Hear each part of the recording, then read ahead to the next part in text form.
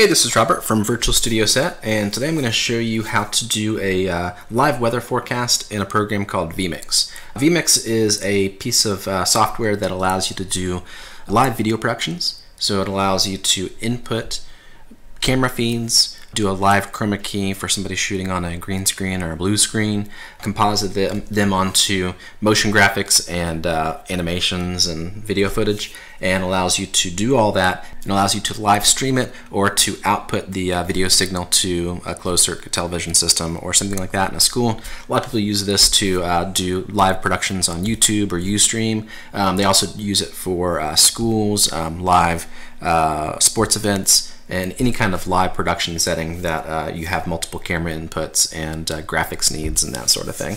And so what you can see here is uh, we have on this screen we've got our, uh, our talent footage. Um, this is kind of in place of what would be a live camera feed. So I'm just going to use kind of a looping um, uh, piece of footage where we have uh, this woman who's been filmed on a green screen. Um, but imagine that this is a lot. That's a live uh, camera feed coming from your camera into your computer and then being uh, composited in real time um, in vMix. And then behind her, we have a, a uh, five-day forecast graphic, and we have uh, kind of animate these animated uh, icons here that are moving around, and then we also have uh, some graphics and information that show up on the scene. And uh, just to kind of give you before we go uh, and take all this stuff out, um, I'll kind of show you that we've got uh, what what are the different pieces. So we've got our five day forecast right here, and then we have um, uh, our individual graphics and our talent shot, and then our graphics that show up inside of the scene right there. So uh, let me close out all this stuff and uh, show you how it was all done. Okay, well if you're not very familiar with uh, with VCast, uh, then I would encourage you to go back and look at some of my uh, other tutorials on vMix. It kind of goes into uh, more of the inputs and that kind of thing on, on, on vMix itself. You can also look at uh, their YouTube channel for vMix. They have a great uh, uh, a few videos that'll just basically ramp you up, um, get you up to speed as far as uh, how to add inputs and what inputs are um, in the software and everything. Um, so I'm not going to go into that too much, but just to say that um, instead of importing assets into kind of a, uh, a, video editor where you bring them on a timeline, um, everything in vMix is basically considered an input. So you can import a video footage that's an input, you can import a camera input that is considered an input. Um, everything is based on inputs. And you do that by adding an input down here on this main button, and then you can choose from a list. You can add cameras, uh, videos, DVDs, streaming pictures, all sorts of different things. And uh, for this one, uh, we're going to basically use for all the weather graphics and everything. They're all videos, and so you could hit browse to find them. You can also just grab your uh, grab your files from you know Windows and drag them in um, from a folder um, into your uh, into the video inputs area. Um, so for these first ones, uh, we're going to have uh, all the different weather icons, and so that's what we have here. These are um, uh, files that we have on uh, on the Virtual Studio Set site that are isolated uh, weather icons. And so I'm going to click and drag all these down into there. And so if I hit play, you can kind of see these are just little animated icons that are pre-alpha, um, have alpha channel built in, and so they just are transparent and go right on top of uh, right on top of your um, studio. Um, and then I also have um, a five-day blank weather forecast um, animation, which looks like this. And uh, we'll be putting that on top. we'll be putting the graphics and everything else on top of this five-day animation. Um, finally, we have uh, our graphics from our uh, five-day forecast, which we can pull from online. Um, and uh, the way that works is the uh, template itself comes with a Photoshop file that has all of the graphics and you can just go in and change what you need. You can change dates, you can change the title here, and then you basically just save a file. And uh, I basically just choose a, a, PNG file with an alpha channel um, so that you can save that and then you'll see that's just 5dayweather.png. That PNG file has uh, uh, the transparency built in, and then you can just overlay that on top of uh, the graphics and whatnot there.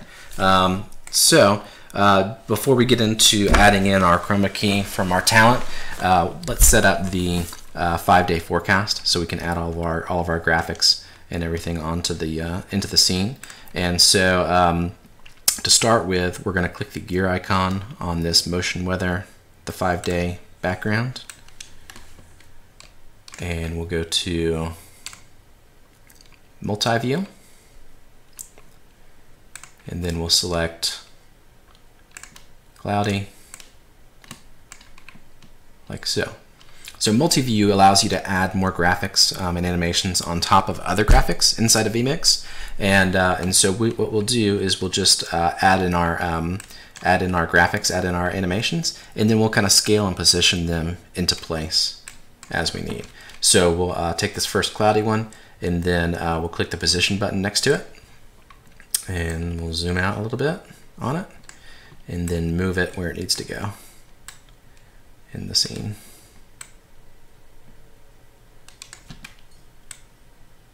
Like so. And then we'll go back to multi-view, click the next one, mostly cloudy, zoom out, move it into place.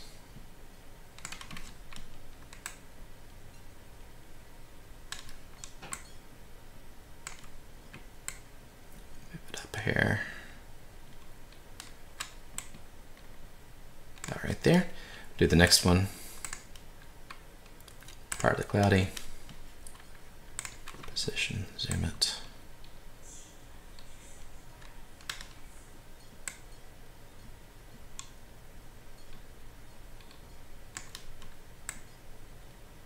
Place.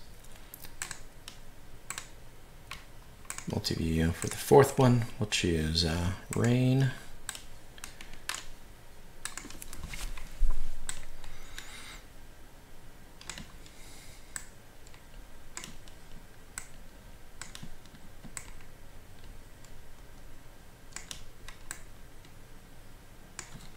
There. And then for the last one, snow.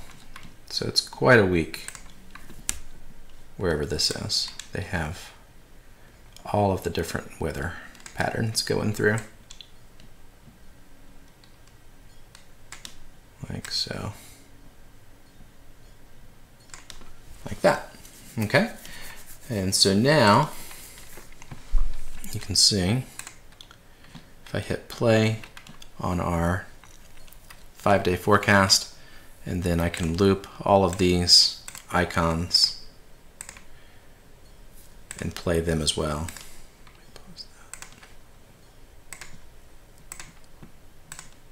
And now you can see that they kind of move just a little bit, you know, in their place on there.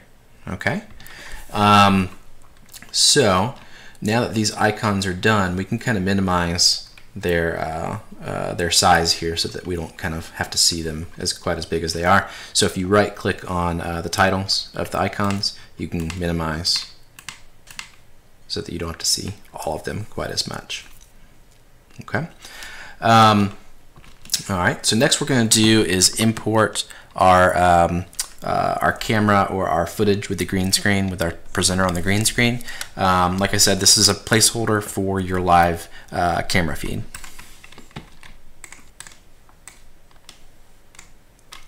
All right, and so we'll import her, and um, let's go ahead and take this um, scene over to our uh, live feed, and so we'll just hit, this is preview, and this is uh, the live feed, and so we're just going to cut to it.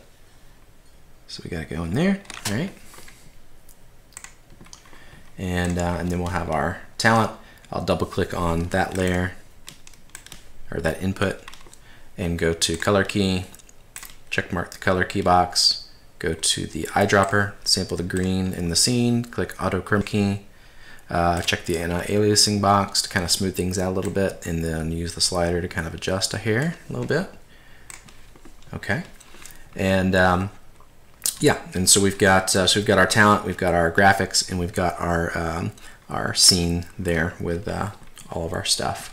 And so now um, we're going to put it all together. And to do that, you have basically four inputs, um, kind of four simultaneous inputs inside of vMix. And uh, the fourth is the top layer, and then you go down in layers. Each one's you know further down. So uh, our talent's going to be on layer four, and so you'll see that she pops in over top of this.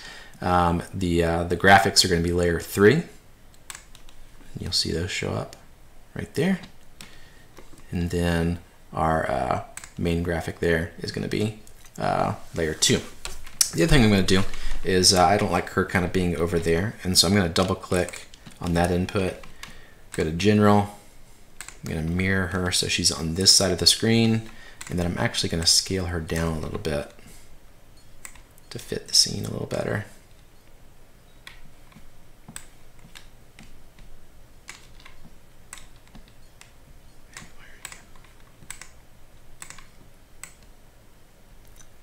Going to scale her down just a little bit to kind of fit the scene a little better. And then move, position her down, just like that. Uh, now that we got her in place, another thing that you can do is uh, add an input that is a uh, Virtual Studio input or a virtual set input um, inside of vMix. And so if you uh, click Add Input and then go to Virtual Set, and then select blank and click OK. What we can do is, uh, is assign uh, the, the, the, motion graphic, the weather five day forecast motion graphic as the background, and then we can layer our items on top of it that way. And in that way we can have, um, we can select this uh, uh, virtual set and it kind of brings everything in without having to do it manually with these layers down here. And so let me show you kind of how that would work. Um, so we've got our virtual set um, uh, template right here. Um, we'll go to setup and then for our background we're going to select on the drop down there for that background we're going to select our uh, motion five day forecast okay on the next layer we're going to select our five day weather PNG graphics and then on the next layer we're going to choose our talent shot like so. And so now if I take that shot, you'll see that we get this information that kind of pops in here. Now you notice that when we did that, we have kind of that intro animation, and unless you're kind of queuing these graphics individually, um, then you're going to have that animation, but you're still going to have the graphics up there already. And so uh, a quick way to kind of fix that is to go to uh, this studio or this um, weather five day forecast clip and then set the endpoints um, uh, so that it's after the animation has already come in. So what we'll do is we'll scrub to this part kind of right there and then we'll do a right click on the scrubber and click mark in and then that'll go to that point and then loop as long as we have the loop setting selected. And so now, if I click to take this footage, you see we kind of cut off that intro animation a little bit. And, uh, and so now we don't have that same issue where the graphics come in, but our graphics are kind of overlaid already. Okay, and so um, and so that allows you to do the uh, the five day forecast. So you can see we have all these different elements in here, and uh, which is kind of neat. Um, now the next thing that we could do is to have different graphics that show up um, for each different um, segment of the weather forecast. And so let me show you how you do that.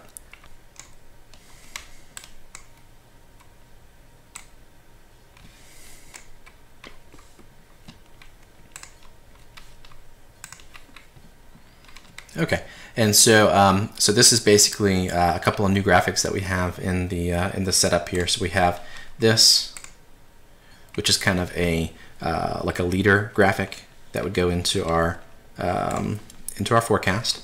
And then we also have another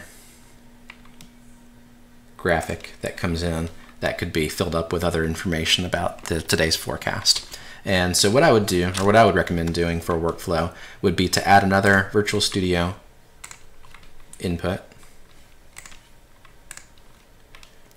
And then on the setup for it, we'll change the background to that one there. And we'll change, this one would be the graphics. I don't have the graphics for it right now, but it would, you know, you'd fill up with whatever graphics you want to show in this area there. And then we'll put our talent on there as well. And right here, we can um, click the gear icon, go to general. We'll call this one today's forecast. And then this one we'll call leader graphic. And this one, oops.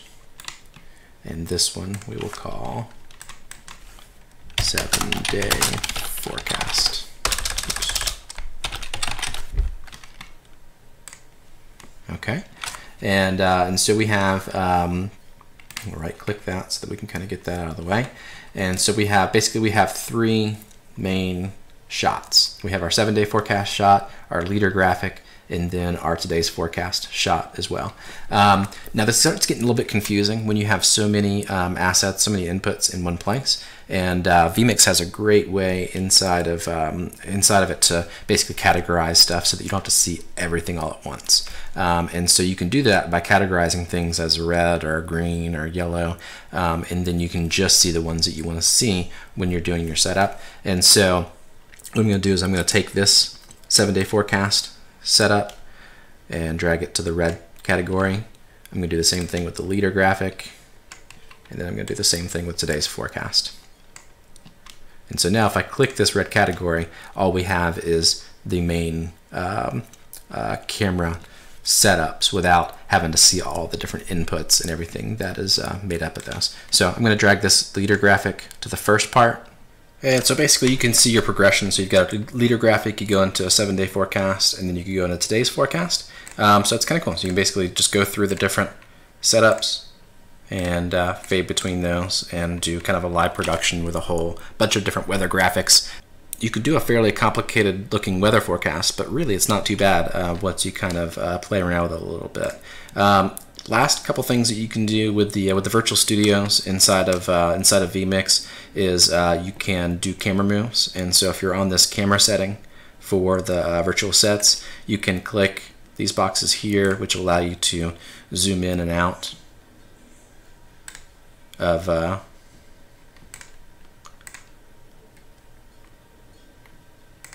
the uh, the studio there. And so you can zoom in and zoom out. And so you could use that you know during uh, as you maybe go out of a leader graphic into uh, the forecast you could start zoomed in and then zoom out as you come in. And it gives it just a kind of a nice looking uh, look and feel. Um, anyway so that's basically it um, like I said vMix great piece of software especially if you're doing any kind of live stuff um, really easy to use uh, I picked it up really quick um, and I think that uh, it'd be something that uh, definitely be good for a lot of our what a lot of our clients. Um, if you have any questions or anything, just give me a shout. Uh, I'll leave a link in the description for uh, our site and then also for these weather graphics in case you might be interested in those as well. Um, anyways, thanks for watching and let me know if you have any questions. Thanks. Bye.